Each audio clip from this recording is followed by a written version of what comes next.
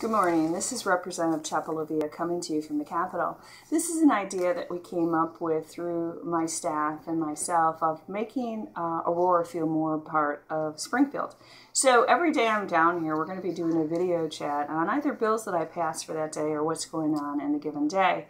And I always welcome you, always welcome you to call my office at 630-264-6855 or 217-558-1002 and come visit and let me know so you can spend the day with me and see what we do here in the Capitol. Today what's going on is we're actually going through last readings of bills on third in the House of Representatives.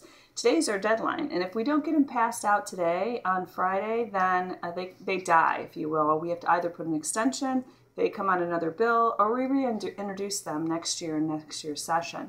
But we are limited about the amount of bills we uh, matriculated over to the Senate because there is a plethora of bills.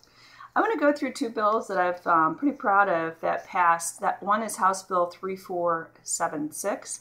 It passed the House on April the 21st, and what it does, it exempts children of wounded veterans from paying tuition at public universities in Illinois, uh, applicable to the children of the parents who have been honorably discharged or who have received a Purple Heart decoration resulted in injury from enemy action, were awarded a campaign medal, suffered death during service, as determined by the U.S. Department of Veterans Affairs, and designates Illinois as his or her home during service. In the United States Department of Veterans Affairs, it's determined that a person's mother or father suffers when they suffer from a disability with a rating of 80% or more, that the individual is subject to full tuition exemption.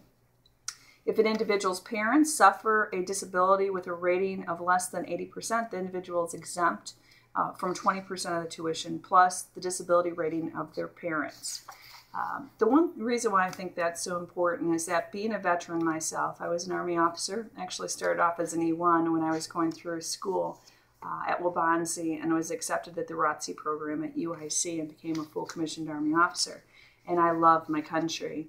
I think as a patriot, we must do everything we can to secure not only the nation's security on our forces going forward into the future, but making sure that we're taking care of those who bear the brunt of the war um, and have seen battle. And we should respect that with every ounce of our being as Americans. The other bill that was passed um, recently by myself is House Bill 642. It passed on the 17th of April. And what it does, and I'm very excited about this because being a small business owner, uh, I've been unable to really communicate back into that community until this last year and a half. Um, and uh, I've been very, very focused on education, and that's very important. And being the chair of Veterans Affairs, I've been very focused on veterans. But one of the things that's near and dear to my heart is women in business and what we create once we get into business and what that shows our children and how they become business owners. So I'm really excited about this bill. It creates a Women's Business Ownership Council, which will report to the General Assembly on how the state can aid, promote, sustain women owned businesses in Illinois.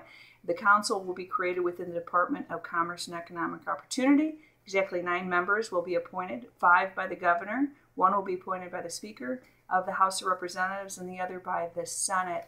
Uh, I'm so excited about that because what I feel is then when we empower our women into business, they empower their children, and we are so much better off in the world when everybody has a productive job and paying taxes.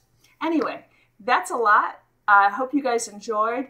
Please visit me on my website. Uh, I'll put the numbers down and have a great day. And thank you. Uh, and what an honor it is that I get to represent you here in Springfield.